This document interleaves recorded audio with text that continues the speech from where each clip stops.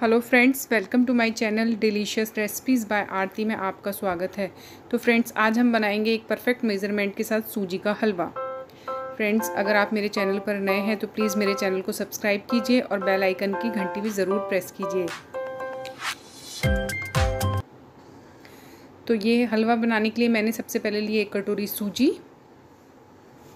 सूजी आप कोई भी ले सकते हैं, ये है चीनी। ये थोड़ी मोटी चीनी है, इसलिए मैंने एक फुल कटोरी से थोड़ी कम ली है। ये है थोड़े काजू, ये छः सात बादाम, किशमिश और थोड़ा सा बारीक कटा हुआ नारियल। तो फ्रेंड्स, ये है हमारी हलवा बनाने की पूरी सामग्री। तो चलिए हम बनाना शुरू करते हैं हलवा। सबसे पहले मैंने कढ़ाई में एक चम्मच देसी घी डालकर इसमें मैं काजू को थोड़ा सा फ्राई कर लूँगी और उसी में अपने कतरे हुए बादाम भी डाल दूँगी। दोनों को एक साथ हम अच्छा सुनहरा होने तक फ्राई कर लेंगे। फ्राई किए हुए ड्राई फ्रूट्स का टेस्ट हलवे में बहुत ही अच्छा आता है। वो बहुत ही क्रंची लगते हैं खाते समय। फ्रेंड्स हम बहुत बार हलवा बनाते हैं तो कभी कभी ऐसा होता है कि हलवा हमारा बहुत ज़्यादा चिपचिपा बन जाता है और कभी कभी ऐसा होता है कि बहुत अच्छे से सूजी नहीं भुन पाती है तो भी हलवा अच्छा नहीं बनता है। और हलवा एक ऐसी चीज़ है कि जो कि हमारे पूजा पाठ में कंचके हो, नवरात्रे हो, कुछ भी हो, उसमें हलवा बनता ही बनता है। और जब पूजा पाठ में तो हलवा अच्छे से नहीं बन पाता है तो मन में थोड़ा सा ऐसा लगता है कि क्यों नहीं अच्छा बना? तो उसी के लिए आज हम एकदम परफेक्ट मेज़रमेंट के साथ बनाएँगे। काजू और मेरे बादाम भून चुके हैं तो अब उसी तेल, उसी कढ़ाई में मैं एक चम्मच घी डालकर किशमिश को भी अच्छे से भून लूँगी। किशमिश को तेल में डालने या घी में फ्राई करने से वो एकदम फूल जाते हैं। तो उसको बाद में हमें गर्म पानी में अलग से भिगो के रखने की ज़रूरत नहीं पड़ती है।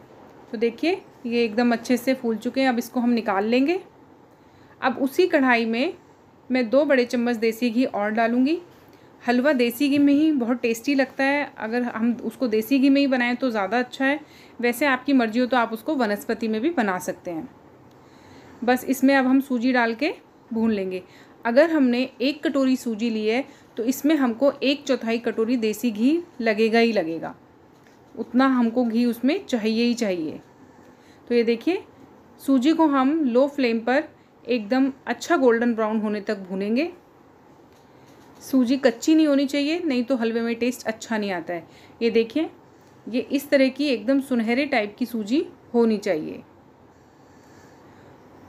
अब ये एकदम अच्छे से गोल्डन ब्राउन हो चुकी है। सूजी हलवा बनाने के लिए हम कोई भी ले सकते हैं। चाहे मोटी, चाहे पतली, बस मेज़रमेंट ठीक होना चाहिए। अब उसी कटोरी से मैंने तीन कटोरी पानी को गुनगुना करके रखा था। ये मैंने तीन कटोरी पानी इसमें डाला है, जिस कटोरी से मैंने सूजी ली थी। और एक कटोरी से थोड़ी कम चीनी है, क्योंकि ये चीनी थोड़ी सी मोटी है, इसीलिए मैंने कम ली है। अगर आपकी चीनी थोड़ी पतली है तो आप बराबर करके भी ले सकते हैं। या अपने टेस्ट के अकॉर्डिंग थोड़ा बहुत कम ज़्यादा भी कर सकते हैं। उसी में मैंने अपने सारे फ्राई किए हुए ड्राई फ्रूट्स डाल दिए हैं। इसमें मैं अभी नारियल कटा हुआ नहीं डालूँगी। थोड़ा सा ही डालूँगी, बाद में थोड़ा सा गार्निशिंग के लिए भी रखूँगी। और इसको हम हिलाते हुए, अच्छे से चलाते हुए, इसको हम पकाएँगे। ये देखिए, क्योंकि इसमें हमने थोड़ा गर्म पानी डाला है तो इसलिए इसमें जल्दी बॉईल आ जाएगा।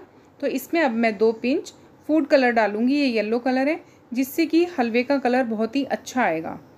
अगर जैसे कि कभी बाई चांस सूजी थोड़ी बहुत कम भी भूनती है तो उससे भी वो सफ़ेद सफ़ेद देखने से अच्छा नहीं लगता ना। तो ये कलर डालने से इसका हलवे का कलर बहुत ही अच्छा आएगा।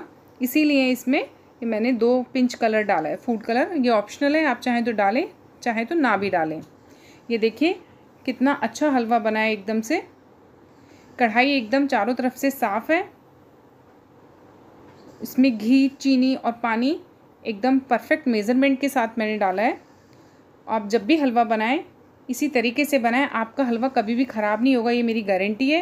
ये देखिए, बहुत ही टेस्टी हलवा बनकर तैयार हुआ एकदम खिला खिला हलवा। और कलर डालने से इसका कलर और भी अच्छा आ गया है। अब मैं थोड़ा सा नारियल डाल के इसकी गार्निशिंग करूँगी।